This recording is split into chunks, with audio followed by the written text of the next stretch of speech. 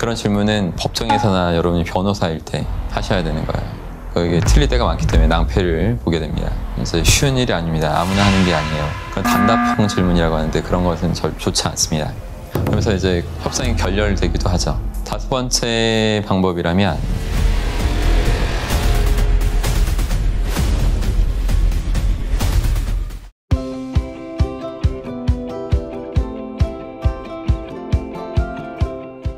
안녕하십니까 여러분의 심리 멘토 박승입니다.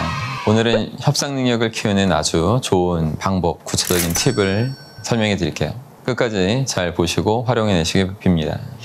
협상 능력을 키워내시려면 반드시 상대의 욕구를 먼저 파악해내야만 합니다. 근데 대부분의 협상 장면에서 상대방이 자신의 욕구를 쉽게 드러낼까요? 아마 그러지 않을 거예요. 쉽사리 드러내지 않고 이제 숨기고 있는 경우가 많아요. 그래서 협상을 자주 하다 보면 자연스럽게 상대의 욕구를 더 일찍 차려, 알아차릴 수 있는 그런 능력도 자꾸 커지게 돼요. 실전이 그래서 중요합니다. 상대방의 욕구를 잘 파악해내기 위해서 첫 번째 필요한 거는 상대가 더 많이 이야기하도록 만드셔야 돼요. 상대방이 되도록 편안한 마음을 갖고 자신의 이야기를 할 수 있도록 그런 분위기를 편안하게 조성해 줘야 된다는 거죠. 그러니까 여러분이 부드러운 표정을 당연히 주셔야 되고 상대가 말할 때 적절히 반응해주고 맞장구 쳐주고 호응해주는 그런 모습을 보일 때 상대가 편안한 마음으로 이야기할 수 있게 되겠죠. 그러면서 자연스럽게 말과 행동을 통해서 점점 이제 자신의 속내를 드러낼 수밖에 없게 됩니다. 적극적인 리액션, 그러니까 진심을 다해서 이제 상대방한테 관심을 갖는 그런 모습을 유지하시고 상대의 말에 집중해야 된다는 거죠. 이런 것이 하루아침에 되는 게 아니기 때문에 항상 사람들하고 있는 장면 장면에서 진정성 있게 그런 노력을 진심 어린 노력을 꾸준히 하셔야만 이 능력이 계속 올바르게 형성이 되어 갈 거예요. 두 번째 여러분이 하셔야 되는 건 질문을 많이 해야 된다는 거예요. 그러니까 상대방의 욕구를 파악하려면 반드시 상대한테 질문을 잘 하셔야 돼요. 질문을 해서 확인하지 않고 그냥 넘겨짚어서 여러분이 상대가 갖고 있는 욕구가 이럴 것이다 라는 생각을 하게 되면 이게 틀릴 때가 많기 때문에 낭패를 보게 됩니다. 취조하는 듯한 질문을 하면 절대 안 되겠죠. 뭐, 예, 아니요. 이런 식으로 상대방이 대답할 수밖에 없는 그런 단답형 질문이라고 하는데 그런 것은 절 좋지 않습니다. 그런 질문은 법정에서나 여러분이 변호사일 때 하셔야 되는 거예요. 이런 폐쇄형 질문보다는 왜, 또 어떻게 이런 식으로 시작되는 열린 질문을 하셔야 돼요. 그러면 상대방은 자신의 상황이나 정보 등을 더 많이 노출할 수밖에 없게 되고 그런 과정 중에 여러분은 그 사람이 원하는 것을 쉽게 알아차릴 수 있게 됩니다. 세 번째 팁이라면 협상 당사자가 아닌 제3자가 있다는 것을 인식하시고 활용해야 된다는 거예요. 직접적으로 상대방의 욕구를 파악하기 쉽지 않을 때도 있어요. 그럴 때는 상대방을 잘 알고 있는 지인, 아니면 상대방하고 자주 대면하는 그런 사람들, 뭐 가족일 수도 있고, 그런 사람들 통해서 상대방의 욕구를 제대로 더 의미 있게 파악해낼 수도 있다는 것이죠. 어, 네 번째 방법이라면 자신의 욕구를 상대방한테 먼저 드러내는 것도 이제 필요할 수 있습니다. 그러니까 솔직한 건데 협상할 때 서로가 눈치 보는 경우가 많아요. 이렇게 눈치 게임 계속 하다가는 결과물도 없이 계속 시간만 계속 지지부진 늘어나고 그러면서 이제 협상이 결렬되기도 하죠.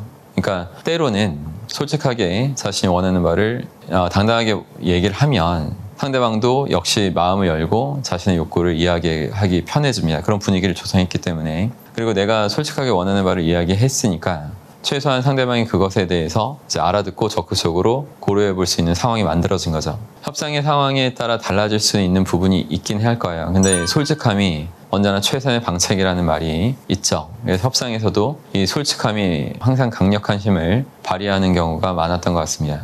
다섯 번째 방법이라면 상대의 욕구가 하나가 아니라 여러 개가 될 수 있다는 것을 고려하시라는 점이에요. 그러니까 상대가 단 한 개의 욕구를 갖고 있는 거라면 그것에 대해서만 철저히 준비해서 해결점을 딱 제시하고 찾아내고 제시, 제안하면 되지만 사실 대부분의 협상 장면에서 상대방이 여러 개의 욕구를 갖고 있는 경우가 더 많을 것입니다. 이것이 더 자연스러운 현상이에요. 이때 중요한 거는 상대방의 그 여러 욕구들 중에서 상대가 가장 중요하게 여기는 욕구가 무엇인지를 그 우선순위를 정확하게 파악해내는 것이 중요하다는 것입니다. 그 상대 여러 욕구들을 모두 완전하게 충족시키는 것은 쉽지 않은 일일 테죠. 그러니까 그거보다는 상대방이 가장 중요하게 생각하는 우선순위에 더 급한 욕구들을 충족시키는 쪽으로 상대방 마음을 얻을 수도 있다는 것입니다. 그리고 뭐 제가 지금 말씀드린 그 조언들 말고도 언제나 인간에겐 타인으로부터 인정받고 싶어 하는 강렬한 욕구가 있다는 것을 항상 명심하셔야 돼요. 그러니까 이렇게 타인한테 인정받고자 하는 인간의 심리를 잘 활용하는 이용하는 사람은 다른 사람의 마음을 아주 마음껏 움직여낼 수 있는 그런 힘을 갖춘 사람입니다. 자존감이 여러분 아무리 높은 사람이라도 타인으로부터 인정받고 칭찬받는 거를 좋아해요.